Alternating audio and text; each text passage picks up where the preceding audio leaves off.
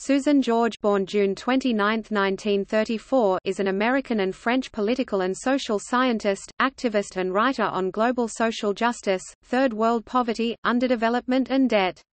She is a fellow and president of the board of the Transnational Institute in Amsterdam. She is a fierce critic of the present policies of the International Monetary Fund IMF, World Bank IBRD, and what she calls their maldevelopment model. She similarly criticizes the structural reform policies of the Washington Consensus on Third World Development. She is of U.S. birth but now resides in France, and has dual citizenship since 1994.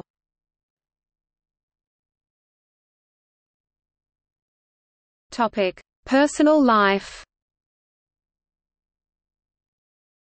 Born Susan Vance Akers on June 29, 1934 in Akron, Ohio. She was the only child of Edith and Walter Akers, Episcopalians whose families had been in America for many generations. Her ancestors arrived in Massachusetts in 1632. Her father was an insurance broker, and her mother was a homemaker and a member of the Junior League. Born during the Great Depression, she was raised in a privileged environment, she had a nursemaid and took dance classes, music lessons, and, at a YMCA, swimming lessons. After attending a public, coeducational primary school, she went on to enroll at all-girls private preparatory academy. She stated that single-sex schooling made me not a feminist. It was normal that women do whatever anybody did.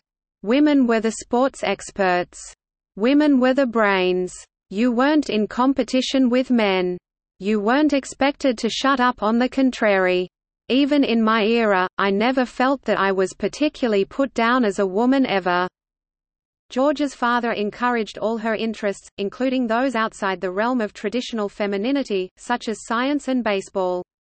When Walter Akers went to serve in World War II, his daughter assisted in planting a victory garden. As a young student, George was a voracious reader and always ranked first in her class. Around the age of 12, she began to develop a strong passion for the culture, language, and people of France. As a teenager she chose to attend Smith College, in Northampton, Massachusetts, specifically in order to participate in the junior year abroad program in France.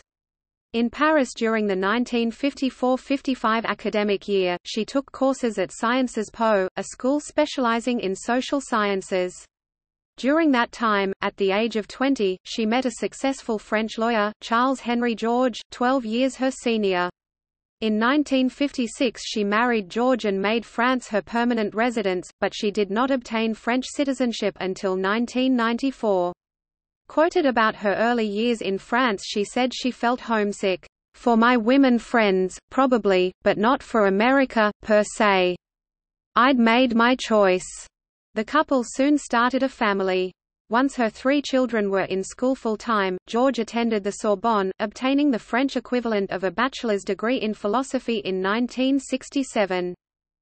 In 2002 Charles Henry George died at their country home in France. Susan has three children—Valerie, Michelle, and Stephanie—and is a grandmother. In an interview she states, either we achieve together a new level of human emancipation, and do so in a way that preserves the earth, or we shall leave behind us the worst future for our children that capitalism and nature can deal them. No one knows in which direction the balance will tip nor does anyone know which actions, which writings, which alliances may achieve the critical mass that leads us one way or another, backwards or forwards. I am acutely conscious of the precariousness of our moment and my four much-loved grandchildren give me added resolve to address it.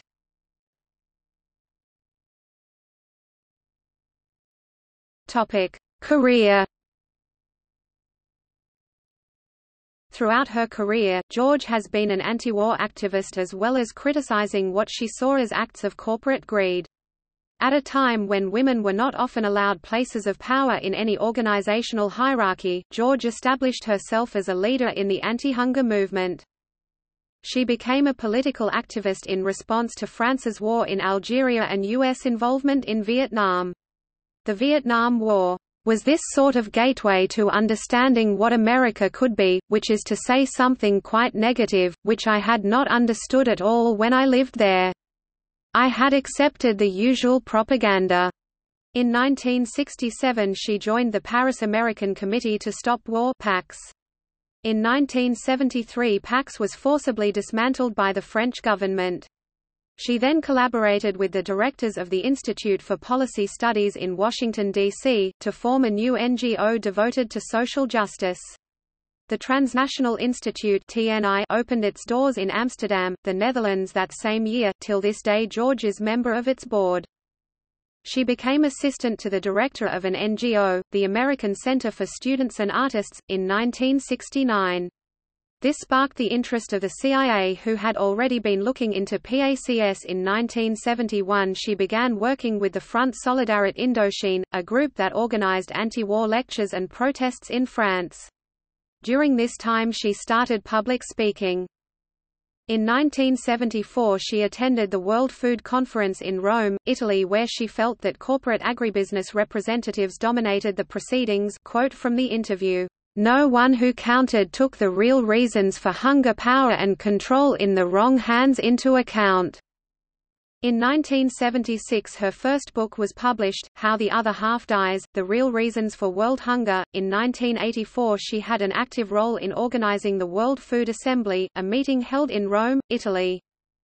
From 1990 to 1995 she served on the board of conservation group Greenpeace International, as well as that of Greenpeace France.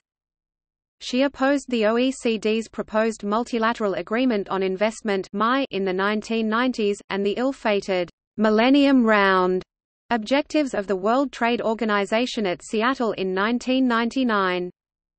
From 1999 to 2006 she was vice president of ATTAC France Association for Taxation of Financial Transactions to Aid Citizens and remains a member of the Scientific Council. She was awarded the title of Honorary President in 2008. In 1999, she also participated in the Helsinki process. In 2004, she supported John Kerry for president.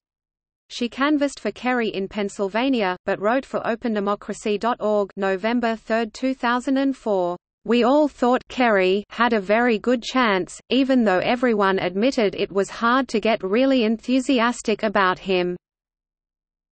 The man isn't the most charismatic ever to walk the earth. But at least he's not a proto-fascist or a go-it-aloner, and that's what we seem apart from a last-minute miracle to be stuck with now. With four years clear ahead of him and no re-election to worry about, I fear Bush and the ghastly neo-con, neo-liberals around him will now go on the rampage. They can continue with impunity their attacks on the Constitution and on hard-won freedoms. 2006, attends Table of Free Voices conference, held in Berlin, Germany, in September 2008, appeared in the documentary film, The End of Poverty? Susan George is president of the board of the Transnational Institute in Amsterdam. Susan George is also a patron of the international development charity, Tools for Self-Reliance. She is on the advisory board of CEO, the Corporate Europe Observatory.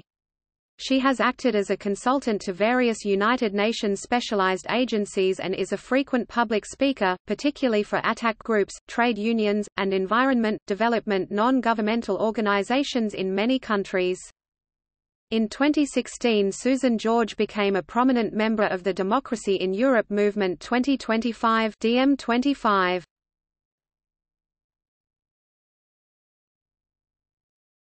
Topic: Honors. Honorary President ATTAC Mentioned as honorary advisor of the Other Economic Summit Topic: Bibliography How the Other Half Dies, The Real Reasons for World Hunger Penguin 1976. Reprinted 1986, 1991 ISBN 0-14-013569-3 An Analysis of the Real Reasons for World Hunger Ill Fares the Land Penguin 1984.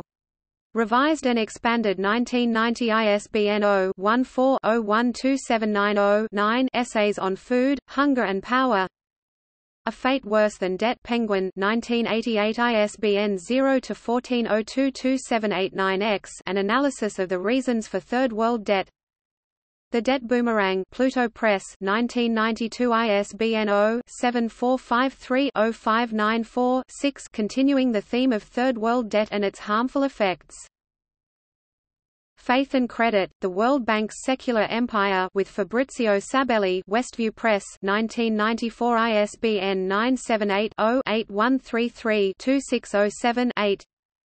the Lugano Report, on Preserving Capitalism in the 21st Century 1999 ISBN 0-7453-1532-1 Another World is Possible If Verso Books 2004 ISBN 1-84467-510-6 Hijacking America, How the Secular and Religious Right Changed What Americans Think Polity 2008 ISBN 978-0-7456-4461-5 We the Peoples of Europe 2008 ISBN 978-0-7453-2633-7 Whose Crisis? Whose Future? 2010 Polity ISBN 978-0-7456-5138-5 Les Usurpateurs The Usurpers, in French 2014 ISBN 978-2-02-121378-2 Shadow Sovereigns, How Global Corporations Are Seizing Power 2015 Polity ISBN 978